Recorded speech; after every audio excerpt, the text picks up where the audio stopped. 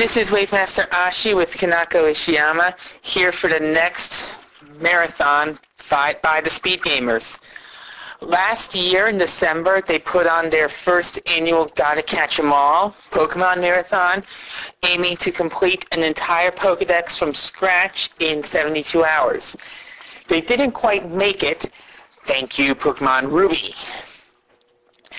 This year is their Gotta Catch 'em All 2009 Pokemon Marathon, this time with Heart Gold and Soul Silver.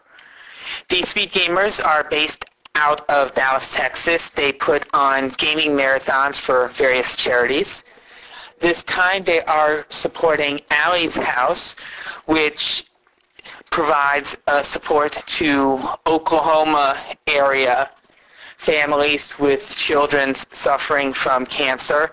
The organization also has the sponsorship of actor, singer, songwriter Toby Keith.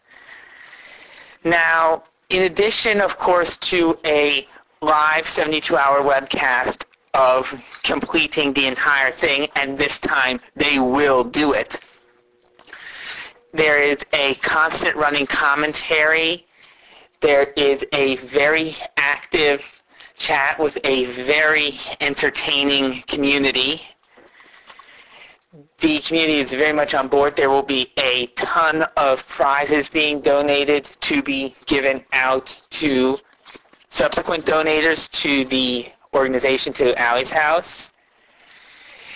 And this time, this marathon will be the one where they eclipse a total of $100,000 raised. So this will be a milestone event for everyone.